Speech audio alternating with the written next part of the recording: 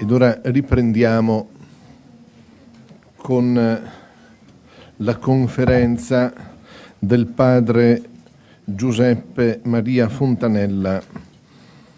Il titolo della conferenza è Il perfette caritatis e la vita religiosa, dove hanno condotto gli esperimenti pastorali. Quindi il tema è uno dei più delicati perché la devastazione post-conciliare ha colpito in primis la vita religiosa. Le statistiche sono impietose, pensate che le suore, che erano quasi un milione, sono state dimezzate, ecco, nel giro di 40 anni si sono trovate esattamente con la metà di, eh, di consacrate, un po' meno la vita maschile, ma ugualmente impicchiate in caduta libera la statistica che segna un'evidente crisi della vita religiosa e non ci sono ancora i segni chiari di una ripresa. Padre Giuseppe Maria Fontanella è un giovane frate francescano dell'Immacolata, entrato nell'istituto nel 1996, ordinato nel 2004, formatore dei postulanti dal 2006 al 2010 attualmente è il viceparroco della grande parrocchia tenuta dai nostri confratelli da Padre Settimio, che è il parroco, lui è viceparroco, in via Boccea, località Casalotti. Ha conseguito il dottorato in teologia della vita consacrata nel maggio 2010 presso la facoltà tenuta dai padri clarettiani la sua tesi ha per titolo La formazione umana nel postulandato dei frati francescani dell'Immacolata secondo il loro carisma. Insegna nello studentato filosofico dei frati francescani dell'Immacolata la materia teologia della vita consacrata. Padre Fontanella cercherà di contenere la sua relazione in 25 minuti per non sforare eccessivamente il termine di questa sessione mattutina del nostro congresso. Grazie. Dal titolo di questa breve relazione si comprende subito che il contenuto della tematica si divide in due parti ben connesse e correlate. La prima parte vuole presentare l'impianto conciliare del piano programma riguardante l'ulteriore sviluppo, crescita e fioritura della vita religiosa nella Chiesa e nel mondo. L'impianto conciliare si basa anzitutto e soprattutto sul decreto Perfette Caritatis a cui si unisce il motu proprio Ecclesie Sante del Papa Paolo VI che contiene le norme di applicazione concreta del Perfette Caritatis. Aggiungeremo poi alcuni importanti sussidi di personalità e dei capitoli generali degli istituti religiosi. La seconda parte riguarda l'interrogativo specifico del titolo della relazione, dove hanno condotto gli esperimenti pastorali e verranno quindi presentati i risultati concreti, rilevati e accertati scientificamente dell'insieme degli esperimenti pastorali fatti dai singoli istituti religiosi lungo il quarantennio post-conciliare che va dal 65 al termine del Concilio Vaticano II fino al 2005, secondo lo studio laborioso e accurato preparato dal professor Pardiglia, claretiano docente universitario. Allora, vediamo la prima parte. Ecco, per motivi di tempo, quindi, considerando anche quello che padre Paolo ha già detto a proposito della vita eh, consacrata, allora dirò solo brevissime cose sul perfette caritatis. E, eh, in effetti, ecco, eh, questo eh, decreto ehm, dà cinque norme per l'aggiornamento nella vita consacrata e sono le seguenti. La prima, la sequela di Cristo, quale regola suprema di ogni istituto. La seconda, la fedeltà al carisma dei fondatori. Terza regola, il cammino con la vita della Chiesa di oggi quarta, l'attenzione al mondo contemporaneo, quinta, il continuo rinnovamento spirituale. E allora, ehm, ecco, per motivi di tempo, diciamo, a proposito dell'Ecclesie Sante, che è il motu proprio di applicazione di questo documento, eh, emanato dal Papa Paolo VI il 6 agosto del 1966, ed è importante perché eh, bisogna riferirsi soprattutto a questo documento, il quale possiamo eh, definire un po' come eh, il, il vademecum, cioè il testo pratico, pastorale a cui ricorrere nel lavoro di revisione dell'intera vita religiosa per ogni singolo istituto. Allora, eh, adesso mh, Passando dalla teoria, quindi dai documenti, alla pratica, iniziamo con eh, il presentare le modalità di applicazione di queste norme pastorali, delle norme fornite dal motu proprio. E eh, per capire meglio queste norme, eh, sintetizziamo quanto a proposito ha scritto il padre Anastasio Ballestrero del Santissimo Rosario, nome religioso, il quale è stato membro della commissione teologica al concilio, generale del suo ordine carmelitano, vescovo di Torino e cardinale, un uomo quindi esperto tanto di vita religiosa quanto di ecclesialità e teologia. Il porporato fornisce indicazioni chiare circa i principi pratici, le applicazioni pastorali con cui i capitoli e i superiori generali, a cui fu data ampia facoltà di avviare gli esperimenti pastorali, devono avviare il processo di aggiornamento. Allora qui ecco, dirò solo alcune cose, ehm, ad esempio per quanto riguarda le premesse Ehm, il padre eh, sottolineava in questo suo articolo del 1971 che eh, l'esperimento è per sua natura temporale, non definitivo, ma provvisorio. Diceva ancora che non bisogna mai canonizzare un certo sperimentalismo a discapito della identità stessa della vita religiosa che la Chiesa non ha voluto cambiare nella sua sostanza. Ecco, ehm, l'Ecclesia Sante eh, affermava che gli esperimenti dove, dovevano essere condotti nel rispetto delle finalità, del carisma e dell'indole propria di ogni istituto.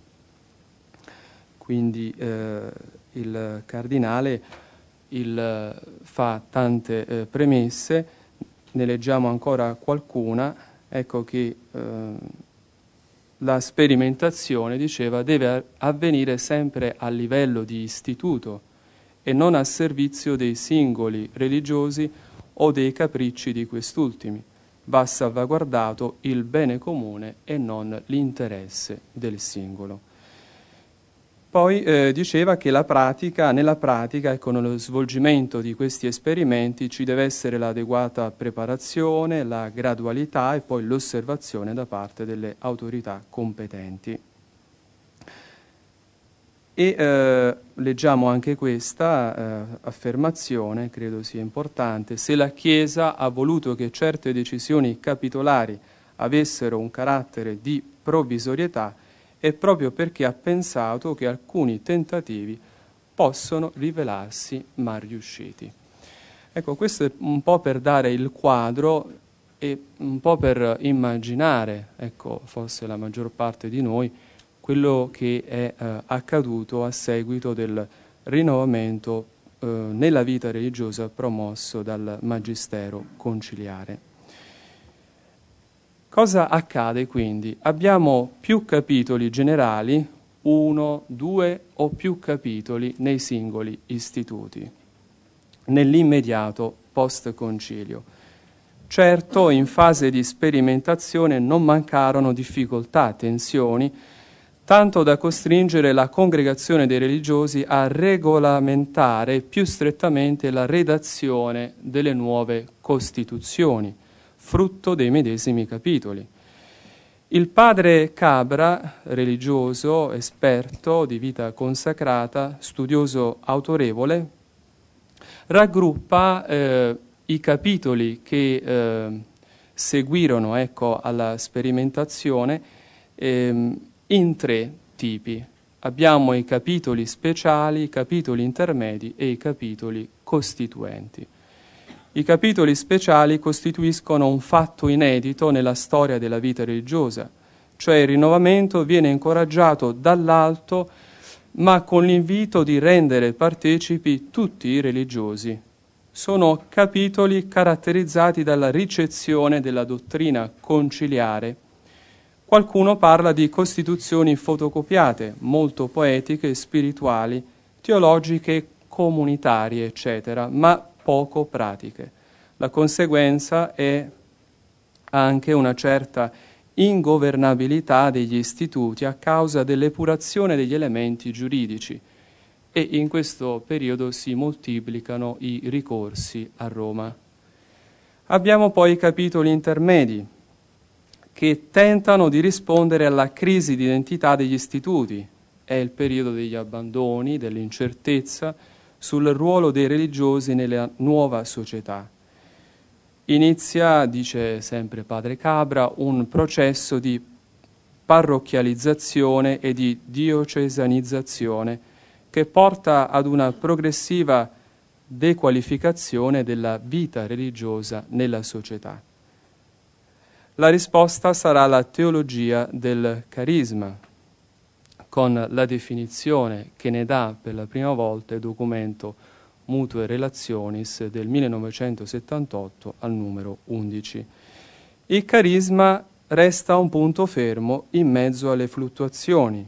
Le costituzioni in questo periodo sono caratterizzate dalla ripresa di alcune tradizioni, sparisce il termine superiore soppiantato da coordinatore, responsabile, eccetera persiste una certa allergia al giuridico.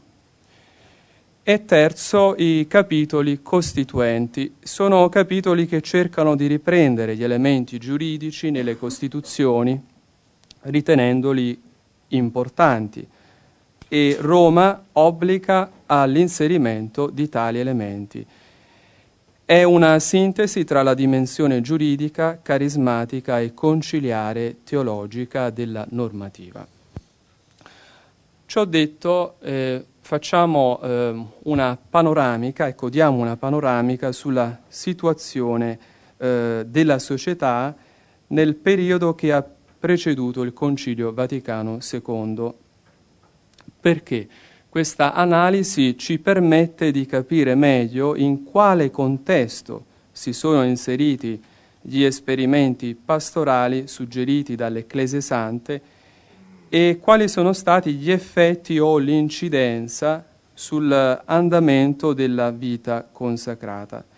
È sempre il padre Cabra che eh, ci offre questa panoramica in alcuni suoi articoli apparsi sulla rivista Vita Consacrata negli anni 2004-2005 e raccolti in un testo unico dal titolo Tempo di prova e di speranza, il cammino della vita consacrata dal Vaticano II ad oggi.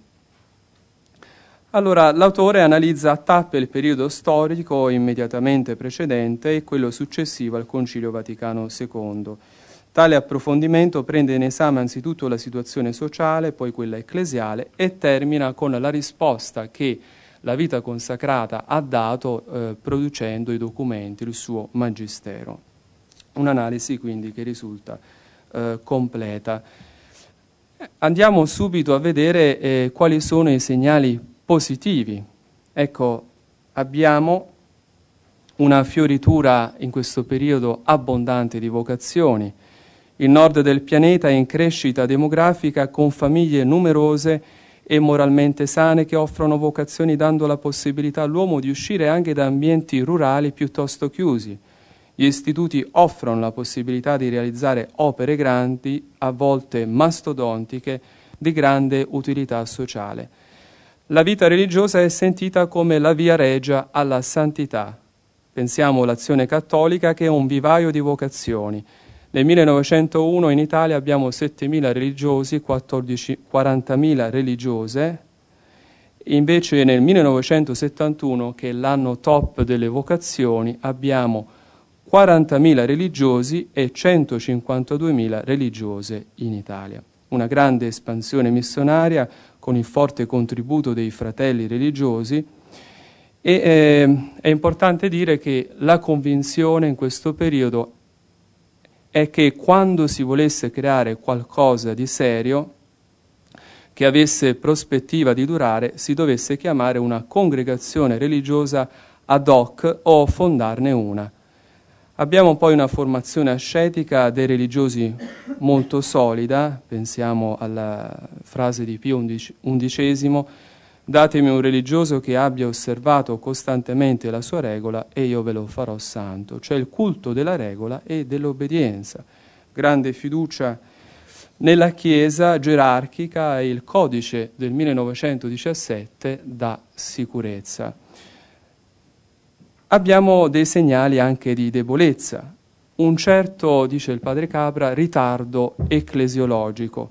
Ci sono aperture e novità teologiche che vengono da religiosi, pensiamo ai domenicani delle Colby Blick di Gerusalemme, Danielù de Lubac Congar e i benedettini di Maria Lac. C'è una rivalutazione del laicato, la teologia delle due vie con l'equilibrata sintesi tomista e la comprensione dello stato di perfezione, superiorità oggettiva ovviamente, ma non soggettiva, dello stato di vita religioso. Allora, adesso vediamo al concilio eh, un tema molto dibattuto, come ha detto, ci ha detto Padre Paolo, ecco è proprio quella della collocazione della, eh, dello stato di vita religioso o di vita consacrata all'interno della Chiesa. E eh, la difficoltà era quella di conciliare eh, l'inserimento della vita consacrata con quella ecclesiologia tipica detta della bipartizione, ossia laici, clero, che di fatto escludeva i religiosi il Concilio adotta la soluzione tomista, inserendo i religiosi nel capitolo sesto, dopo il capitolo sulla vocazione universale alla santità e prima di riassumere tutto nella comune indole scatologica della Chiesa. Succede però che alcuni passi probanti, la vita consacrata, iniziano a essere letti in maniera diversa dalla tradizione si sente poi la necessità di collocare la vita religiosa dentro la Chiesa in una maniera diversa. L'autorità è sentita troppo paternalistica, la regola sembra prendere il posto della missione e della persona stessa nella sua umanità. Il codice è avvertito troppo rigido e fa tendere a volte al tuziorismo.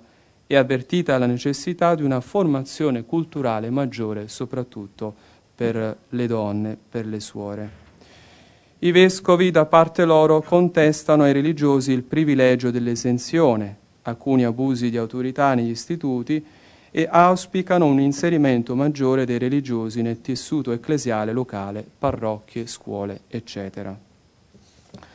Allora quindi abbiamo al, al varie eh, concezioni del rinnovamento al concilio che il padre Cabra riassume in tre.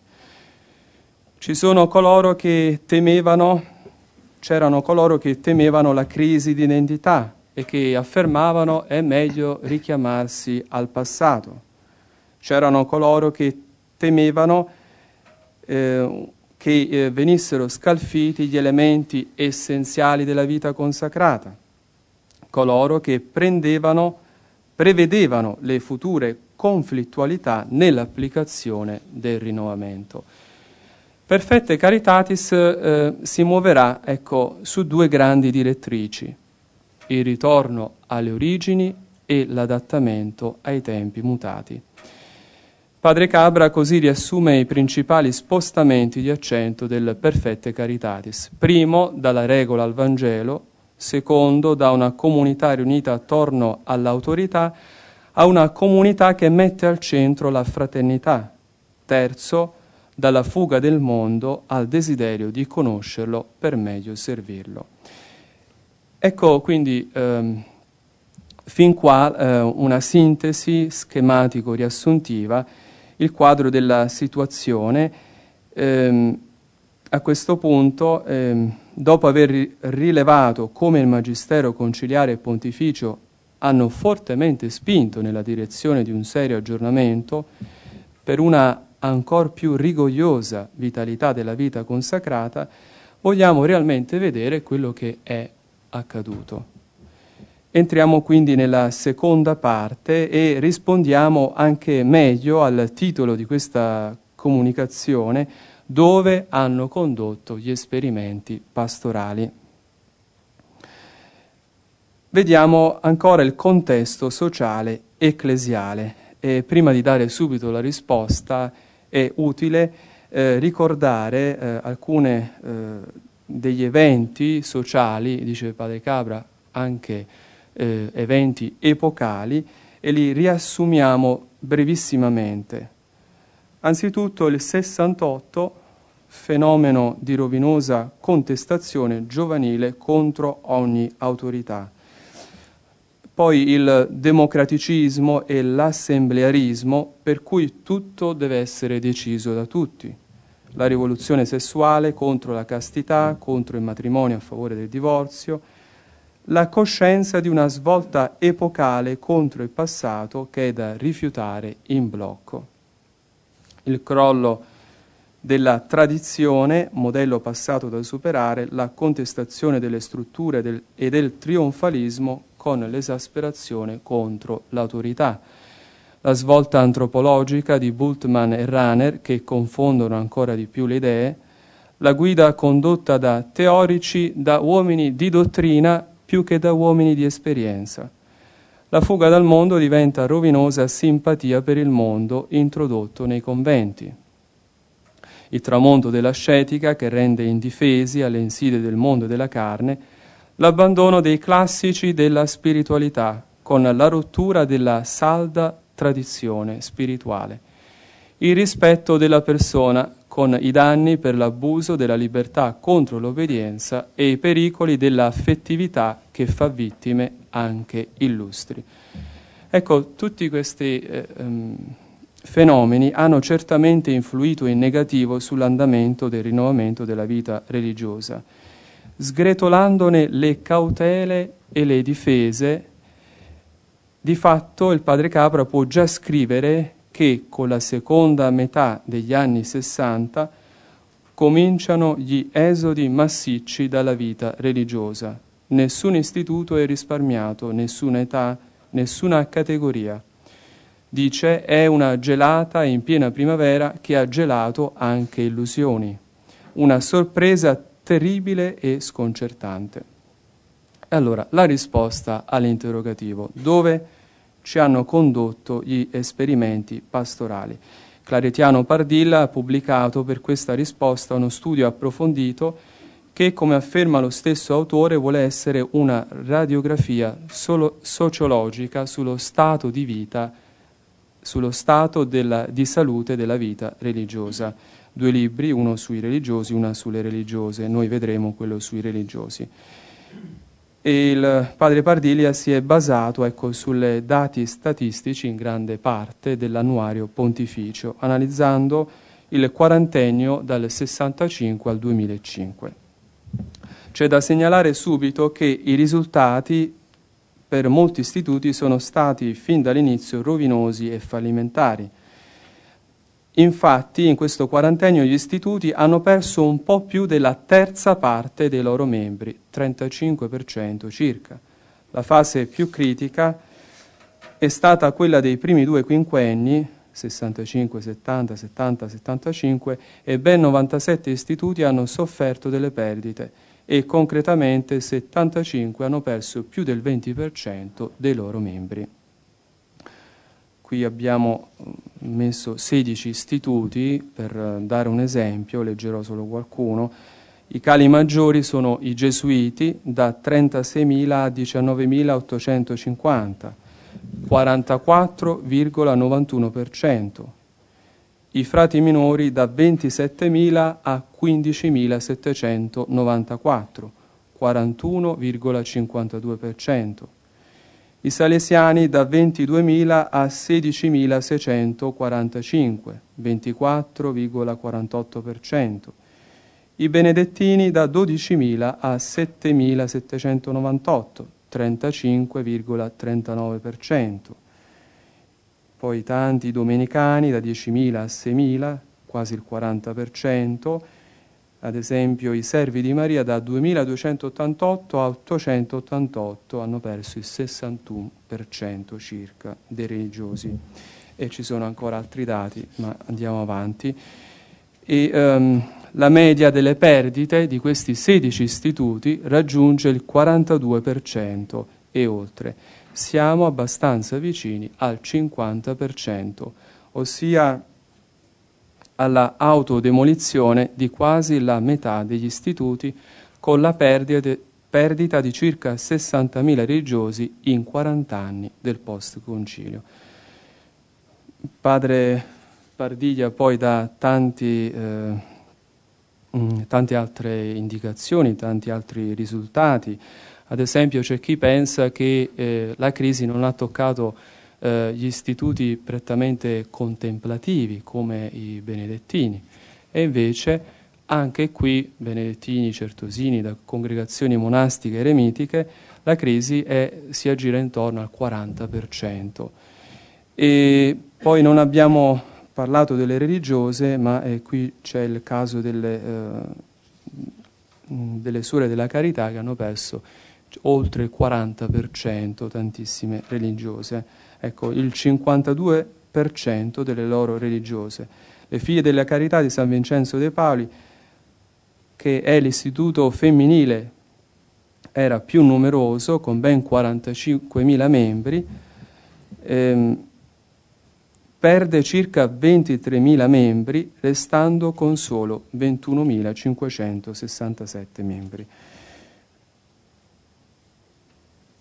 Ecco, quello che denuncia Pardilla è il fatto che alcuni religiosi sostengono che eh, eh, in genere ecco, si è toccato il, eh, il fondo, la tappa della diminuzione dovrebbe considerarsi ormai finita e superata, sarebbe già iniziata la fase del recupero.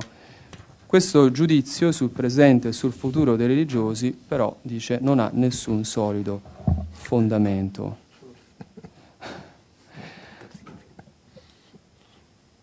E eh, dice padre che i religiosi istituti sono ancora in fase di calo. Ecco, eh, un dato non statistico um, sono diciamo, eh, rivelazioni, diceva eh, un, un superiore ecco, dei frati minori, che eh, la perdita dei loro membri è di circa 400 all'anno, 400 membri all'anno e che significa una provincia persa all'anno, questo per i frati minori. Allora andiamo, andiamo eh, velocemente alle cause che dobbiamo dire di questa eh, eh, rovinosa crisi post-conciliare della vita religiosa. Una delle cause fondamentali è stata la mancanza di una visione soprannaturale e positiva della pratica dei voti religiosi. Questa mancanza ha condotto a una grande tristezza esistenziale, a un senso di vuoto avvertito e incolmabile. Si usa, padre Pardiglia usa uh, l'immagine guscio vuoto. E um, il padre eh, cita anche uno studio di un frate minore, il padre Oviedo, eh, pubblicato sulla rivista Antonianum del 2004, e lui fa uno studio diciamo, eh, psicologico usando delle categorie della psicologia americana su un campione ecco, di religiosi eh, in un certo eh, periodo di tempo e lui fra le tre cause, interessante, mette proprio il, la, mh, e anche come medicina il recupero del senso dell'eccellenza della vita consacrata. Il, um, Aveva ben ragione eh, per questo il Papa Benedetto XVI, già eh, mi sembra ecco, citato dagli altri relatori, quando eh, nel discorso del 22 dicembre 2005 affermava l'ermeneutica della discontinuità rischia di finire in una rottura tra Chiesa preconciliare e Chiesa postconciliare. Ecco, credo che comunque non è necessario leggere tutta la citazione perché è già stata detta. Ecco, quindi c'è stato un cambiamento. Di fatto il concilio ha confermato invece, non ha detto il contrario, che la santità non è una realtà monolitica, lo sappiamo, eh, ricordiamo ecco il capitolo sulla vocazione universale alla santità, però esiste in diverse forme. Si può parlare quindi di speciale consacrazione, di santità speciale, pensiamo Lumen Gentium 44, Perfette Caritatis 5, al di là della misura dei precetti, Lumen Gentium 42.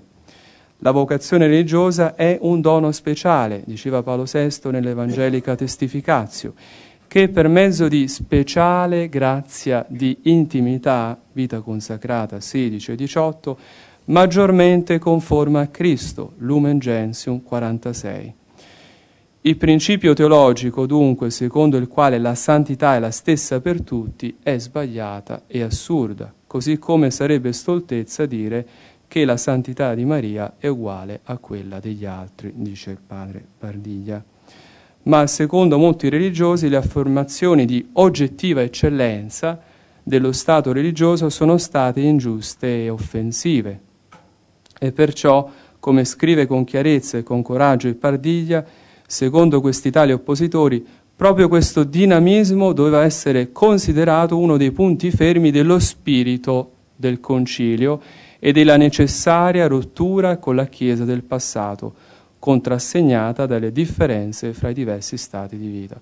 Basta ricordare il documento Vita consacrata al numero eh, 18, al numero 30, 31, 32, dove eh, si parla della obiettiva e oggettiva eccellenza della vita consacrata e dove il Papa eh, Giovanni Paolo II ecco, parla della relazione fra la consacrazione battesimale e la consacrazione religiosa nonché chiarisce ecco, eh, eh, e colloca bene i tre stati di vita, quello dei laici, quello dei religiosi e quello dei sacerdoti. Questa linea interpretativa ha portato alla formulazione di conclusioni sconvolgenti. Secondo la nuova luce del concilio, vivere nello stato religioso non serve a nulla. Lottare per rimanere fedeli agli impegni della professione religiosa è in una visione teologica e realistica uno sforzo inutile. Il cristiano che lascia la vita religiosa e si sposa non perde niente di positivo, anzi, passando allo stato matrimoniale, tale membro della Chiesa guadagna in termini di positività umana e di sviluppo della propria personalità. Ancora peggio, Bardiglia riferisce che in certe descrizioni tendenziose la testimonianza evangelica della consacrazione religiosa non è altro che un mero segno privo di qualsiasi vera realtà specifica, l'immagine del guscio vuoto. Va bene, allora ci avviamo alla conclusione. Ecco, un'altra eh, causa eh, che ferma Pardiglia, un'altra causa è la, ehm, il rigetto, purtroppo, dell'esortazione apostolica, post-sinodale, vita consecrata di Giovanni Paolo II del 96. E questo è molto grave perché addirittura da persone mh, di una certa elevatura ehm, ecco, ecclesiastici questo documento è stato considerato una pia esortazione ed è stato considerato il frutto anche questo di compromessi ancora che ehm, in realtà eh, non rispecchia ecco, lo spirito del concilio che vorrebbero ecco, i progressisti. E purtroppo non è difficile trovare queste opinioni in riviste e in libri pubblicati da religiosi. Ecco, questo è molto grave. Ma come è possibile ragionare in questo modo da veri insensati? Quali cause mai possono aver spinto fino a questa irragion- irragionevolezza contro la vita religiosa? Che deve essere radicalmente, per vocazione speciale, il prolungamento della vita stessa di Gesù, tutta virginale, povera e obbediente. E, eh, allora, ecco, leggo la conclusione. Eh, qui è acceso. Andiamo. A conclusione di questa relazione possiamo fare le seguenti riflessioni. La Chiesa e in particolare i religiosi devono essere conso- consapevoli dolorosamente che nel quarantennio post-conciliare i cali vocazionali e le, def- le defezioni dei religiosi ci sono stati in maniera massiccia e nessuna teoria, per quanto ottimista, può nascondere questa terribile realtà.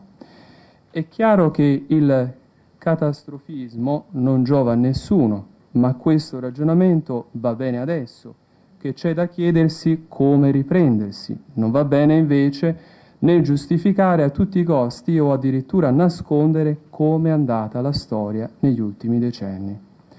Bisogna inoltre, come ha affermato il Pardiglia, smetterla di spiegare la terribile crisi post-conciliare che ha investito i religiosi come un fatto puramente e univocamente attribuibile a fatti sociologici.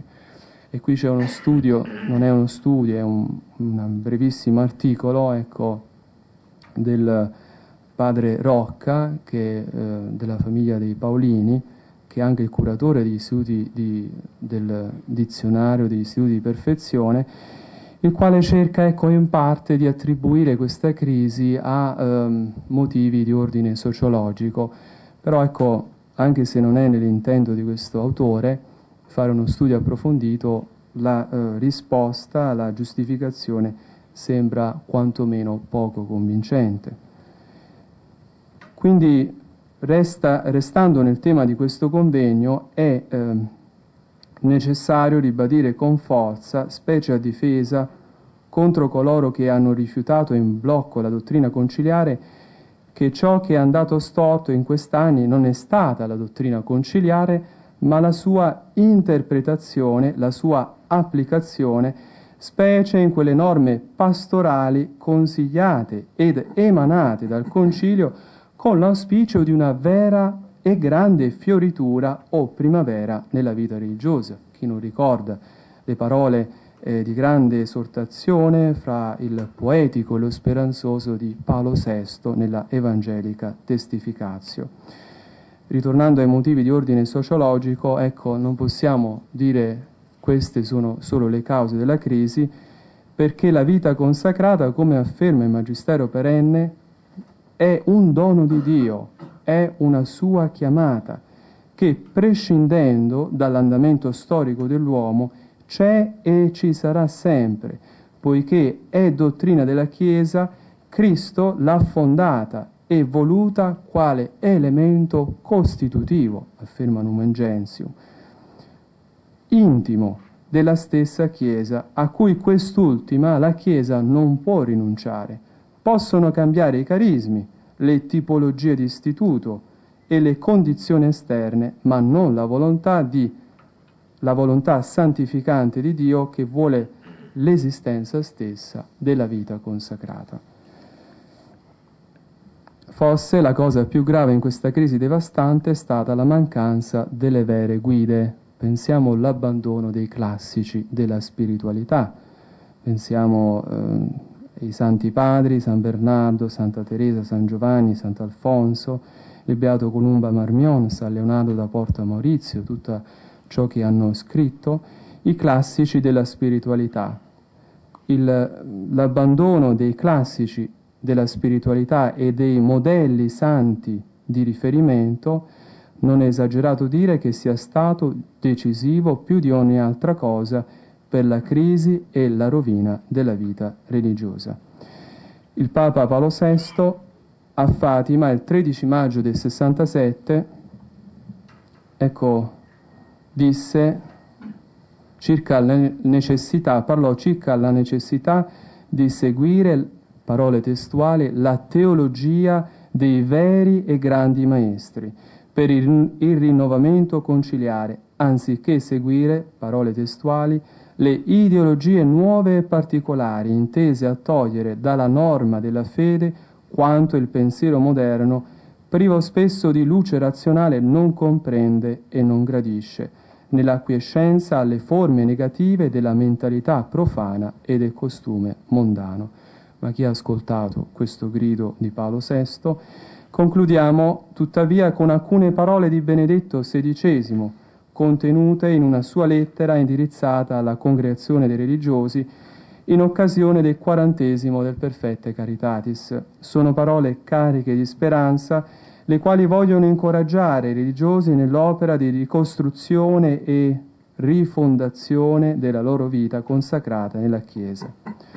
E dice, augurando ai religiosi tutti di continuare a seguire Cristo, vita religiosa ultima norma affermando che un'autentica ripresa della vita consacrata non può esserci senza un centramento ritorno a Cristo da cui ogni fondatore ha attinto l'ispirazione fondante, dono dello Spirito.